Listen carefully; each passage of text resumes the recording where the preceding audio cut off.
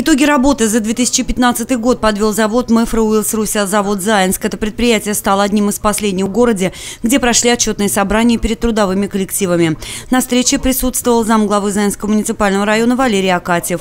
С докладом по производственным показателям в 2015 году выступил директор предприятия Илья Давыдов. По итогам работы по сравнению с 2014 годом объемы производства упали на 9%. Объем отгруженной колесной продукции ниже уровня 2014 года на 12%. 10%. Это связано со снижением темпов производства и спроса на российском автомобильном рынке. Тем не менее, среди основных задач на 2016 год – увеличение объемов производства.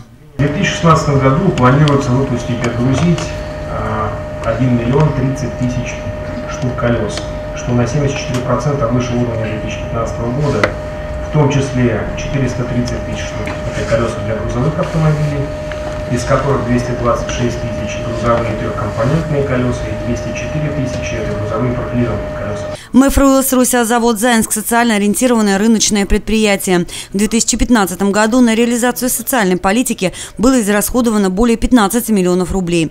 В 2015 году в бюджеты всех уровней завод перечислил 314 миллионов рублей. В 2016 году планируется снизить эту цифру до 183 миллионов рублей.